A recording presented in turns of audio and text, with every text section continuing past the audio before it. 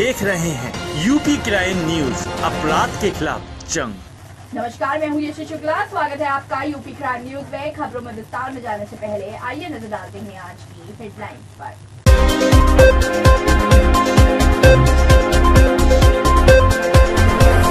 फतेहपुर में महिला जिला अस्पताल में धूमधाम से मनाया जा रहा बालिका दिवस।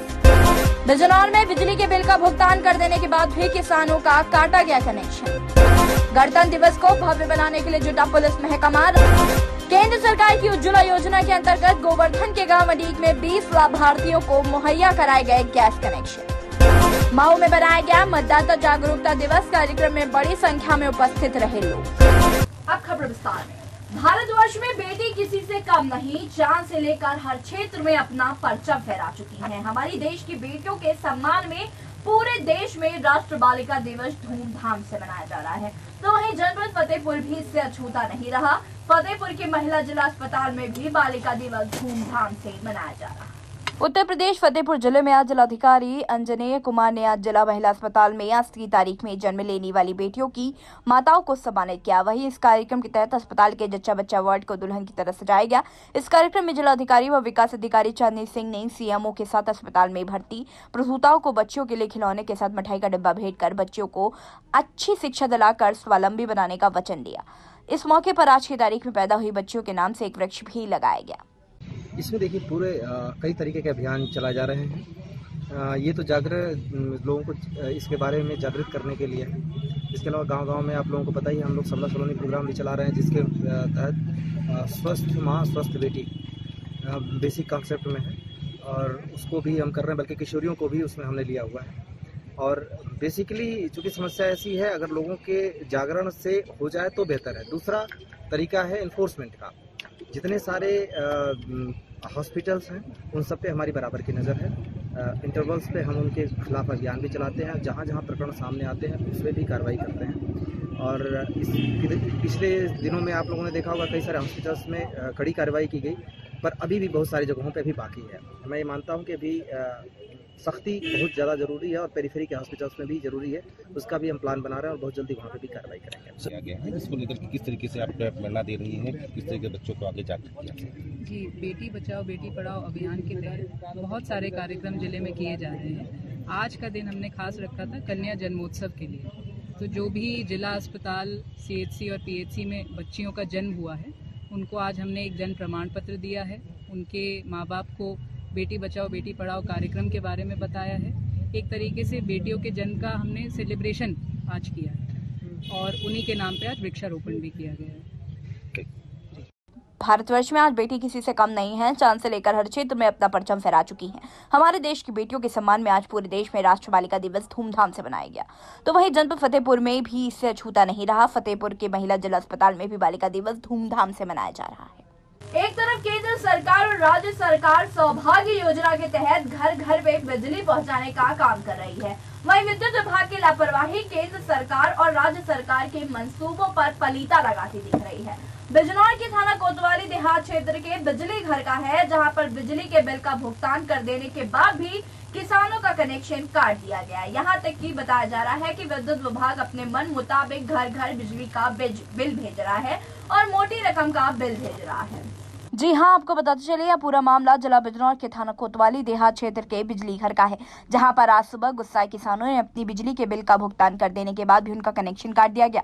यहाँ तक बताया जा रहा है कि विद्युत विभाग अपने मन मुताबिक घर घर बिजली का बिल भेज रहा है और मोटी रकम का बिल भेजा जा रहा है। उस किसान का यही मानना है की जब सरकार अट्ठारह घंटे लाइट दे रही है, तब यहाँ पर पाँच से छह घंटे की कटौती की जा रही है। तो फिर इतना बिजली का बिल क्यों आ रहा है? जब बिजली ही नहीं आ रही तो बिल कैसे बढ़ सकता है? इस बात को लेकर गुस्साए किसानों ने कोतवाली देहात बिजली घर में धावा बोल दिया और वहाँ के अवर अभियंता मूलचंद शर्मा को बंधक बना लिया। पूरे बिजली घर का घिराव कर अपना गुस्सा ज़ाहिर करने लगे। काफ़ी मशक्कत के बाद अवर अभियंता ने किसानों को अपना पीछा छुड़वाया। जिस तरह सर ये बता रहे हैं कि साठ साठ हज़ार रूपए का बिल आ गया है और बिजली इतनी आ नहीं रही है और खंभों से लाइट नहीं दिया गया है क्या मामला क्या है सर? कुछ जगह हैं जहाँ पर मीटर नहीं सप्लाई से जोड़े गए हैं। उन्हें हम जेई और लाइनमैन के थ्रू जुड़वा रहे हैं। जिससे कि उनसे मीटर से उनकी सप्लाई चालू हो जाए। और दूसरा ये है कि जो बिल एकदम से ज़्यादा आ रहे हैं, वो मैंने पहले ही कहा है कि अनमीटर्ड से, क्योंकि सिस्टम मीटर्ड पे आ रहा है।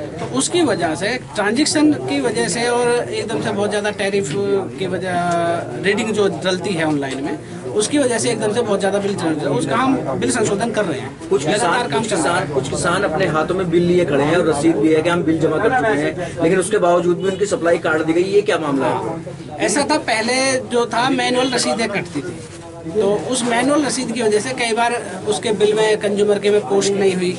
जिससे बिल नहीं घटा। तो डिपार्टमेंट ने सारा सिस्टम ऑनलाइन कर दिया है आज की डेट में। तो जिससे कि जब भी रसीद कटे तो उसके बिल में से वो घटे। तो जितने भी केस हैं जो रसीद लिए हुए हैं परेशान हैं लोग पुराना इशू है। उनको हम इम्प्लीमेंट करके ऑनलाइन सिस्टम में इंक्लूड कर रहे हैं। तो उनका कनेक्शन सर कटा है तो किसान की गलती है विद्युत विभाग की गलती है जो कनेक्शन कटा है? जो ऑनलाइन सिस्टम के अंदर में जिसपे बिल बकाया है क्योंकि किसान ज़्यादातर जैसा ये लोग कहते हैं कि मार्च से मार्च हम जमा करते हैं। ऊपर से आज की डेट में मार्च से मार्च का सिस्टम खत्म हो गया है। जब ऑनलाइन हो गया है सारा तो फिर उसमें ये रहता है कि भाई उपभोक्ता जागरूक हो और वो महीने, दो महीने छः महीने में वो बिल जमा करे। जिससे कि उस पर बहुत ज़्यादा बर्डन ना पड़े एकदम से बिल जमा कर दें कब तक इनकी समस्या का समाधान हो जाएगा सर? ये तो एक कंटिन्यूस प्रोसेस है। लोगों की समस्या आती रहेंगी हम संशोधन करते रहेंगे। तो धीरे धीरे जैसे भी ये ट्रांसफॉर्म का टाइम पूरा हो जाएगा कि भाई अनमीटर से मीटर जिनके मीटर आ जाएँगे ऑनलाइन उनके बिल ऑनलाइन मीटर से बनने लगेंगे तो धीरे धीरे समस्याओं का निदान होगा। यह आश्वासन देते हुए कि जल्द ही आपकी समस्या का निस्तारण कर दिया जाएगा। परंतु किसानों ने जल्दी समस्या का निस्तारण नहीं हुआ तो सरकार को भी आने वाले चुनाव 2019 के लिए भी चेतावनी दी है। नॉर्थ से संवाददाता सलीम अहमद की रिपोर्ट, यूपी क्राइम न्यूज़। गणतंत्र दिवस को भव्य बनाने के लिए पुलिस महकमा पूरी तरह से जुट गया है, ताकि इस दिन को खास बनाया जा सके। गणतंत्र दिवस की तैयारियों को लेकर पुलिस लाइन में परेड का फुल ड्रेस रिहर्सल किया गया। सदर क्षेत्र अधिकारी जितेंद्र दुबे के नेतृत्व में परेड का आयोजन किया गया। परेड के दौरान जो खामियाँ नज़र आई, उनको दूर करने के लिए सीओ ने पुलिस अधिकारियों को निर्देश दिए हैं। जितेंद्र दुबे के नेतृत्व में परेड का आयोजन किया गया। परेड के दौरान जो खामियाँ नज़र आई उनको दूर करने के लिए सीओ ने पुलिस अधिकारियों को निर्देश दिए। 26 जनवरी को होने वाले कार्यक्रम के दौरान कोई खामी न रह जाए इस पर पुलिस क्षेत्र अधिकारी जितेंद्र दुबे ने बारीकी से नज़र रखी। रिहर्सल के दौरान जो खामियाँ सामने आई उनको दूर करने के लिए सीओ सिटी जितेंद्र दुबे और आरआई को ज़रूरी दिशा निर्देश दिए। बहुत उत्साह के साथ आगामी 26 जनवरी की तैयारियाँ चल रही हैं। गणतंत्र दिवस की जो परेड है, और पिछले 10 दिनों से उसकी परेड की तैयारी चल रही है। लगभग सारी तैयारियाँ पूरी हो चुकी हैं। इस परेड में मुख्य आकर्षण जो पुलिस कर्मी, उनके साथ में एनसीसी के बच्चे और होमगार्ड्स इनकी जो परेड की ड्रिल है। साथ में विभिन्न जो पुलिस के प्रोजेक्ट्स होते हैं, विभिन्न आकर्षण होते हैं। जैसे कि पुलिस का कमांडो दस्ता है, नारी सुरक्षा दस्ता है फायर सर्विस यानी कि अग्निशमन विभाग का दस्ता है और रेडियो शाखा का जो दस्ता है, इस तरह से विभिन्न शाखाएँ जो पुलिस की होती हैं, वो अपनी अपनी कलात्मकता का परिचय देंगी वहाँ पे। एक डेमो के तौर पे लोग देखें और जानें पुलिस के बारे में अधिक से अधिक। और इसके अलावा अन्य भी काफ़ी सांस्कृतिक कार्यक्रम वहाँ पे विभिन्न स्कूलों के बच्चे आके तैयारी कर रहे हैं। कुल मिला के तैयारियाँ लगभग मुकम्मल हो चुकी हैं और एक बहुत ही अच्छे छब्बीस जनवरी के उत्सव को मनाने के लिए हम लोग तैयार हैं। सीओ सिटी जितेंद्र दुबे ने बताया कि रिहर्सल के दौरान पुलिस कर्मियों ने अच्छा प्रदर्शन किया। कुछ मामूली खामियाँ नज़र आई जिन्हें दूर कर दिया जाएगा। महोबा से संवाददाता भैरा जावत की रिपोर्ट यूपी क्राइम न्यूज़। केंद्र सरकार की उज्ज्वला योजना के अंतर्गत गोवर्धन के गाँव अडीग में 20 लाभार्थियों को गैस कनेक्शन मुहैया कराए गए। उज्ज्वला योजना में गरीब परिवारों को निशुल्क गैस कनेक्शन मुहैया कराने की केंद्र सरकार की योजना है।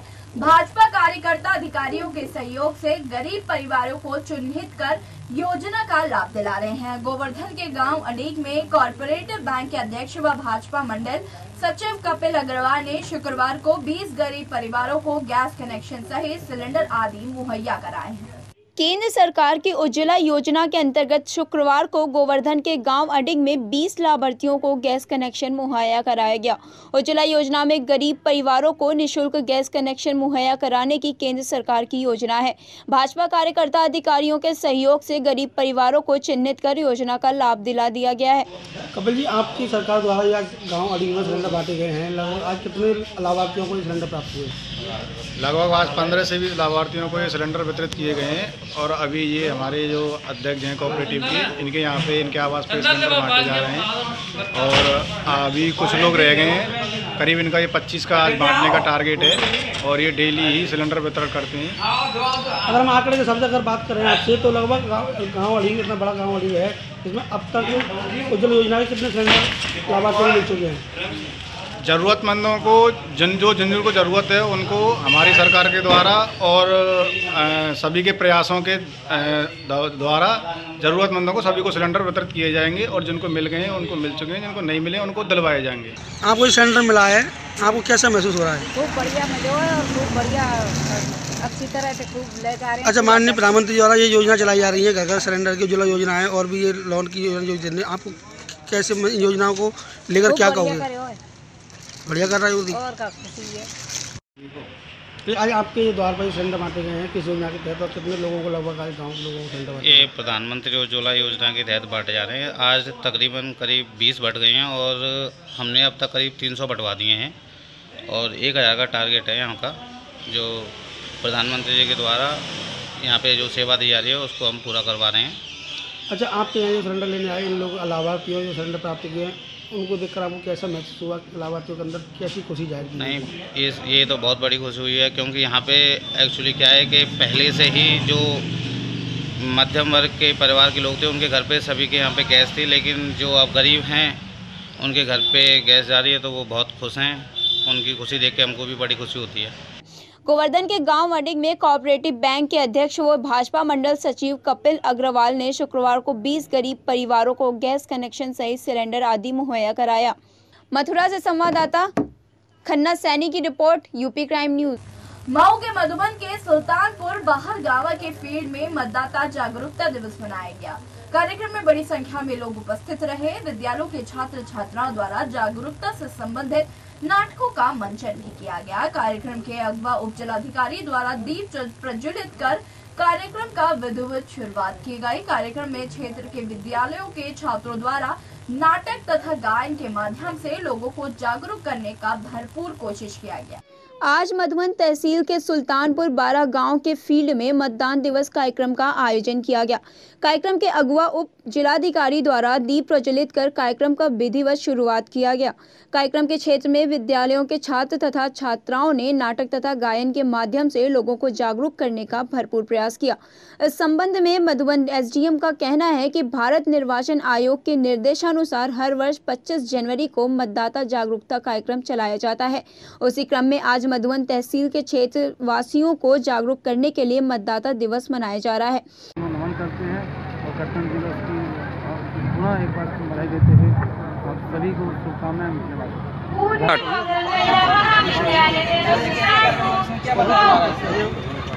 निर्वाचन आयोग द्वारा मतदान जागरूकता कार्यक्रम कराया गया है इसमें तहसील क्षेत्र के जितने भी कॉलेज हैं उसमें अच्छे बच्चियाँ प्रतिभागी हुए हैं प्रतियोगिता हो रही है। जिसमें क्षेत्र के तमाम विद्यालयों के बच्चों द्वारा कार्यक्रम कर मतदाताओं को जागरूक करने का भरपूर प्रयास किया जा रहा है। वहीं भाजपा नेता अभिषेक सिंह का कहना है कि सरकार की मंशा के अनुरूप आज कार्यक्रम किया जा रहा है। कार्यक्रम में क्षेत्रवासियों की उपस्थिति सराहनीय है। तहसील में कार्यरत लेखपाल अशोक सिंह का कहना है कि इस वर्ष जागरूकता कार्यक्रम में काफ़ी प्रचार प्रसार किया गया है, जिसका परिणाम आज देखने को मिल रहा है। सैकड़ों की संख्या में लोग आए हुए हैं। सुल्तानपुर बारह गाँव की फ़ील्ड में आज भारी संख्या में ग्रामीण इलाकों के लोग आए हुए हैं। मतदाता जागरूकता कार्यक्रम के सफल आयोजन के लिए एसडीएम निरंकार सिंह को लोग बधाई दे रहे हैं। मऊ से संवाददाता जगदीश सिंह की रिपोर्ट, यूपी क्राइम न्यूज़।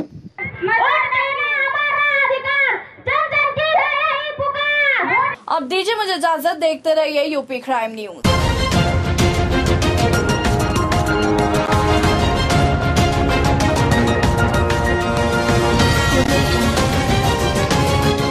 देख रहे हैं यूपी क्राइम न्यूज़ अपराध के खिलाफ जंग।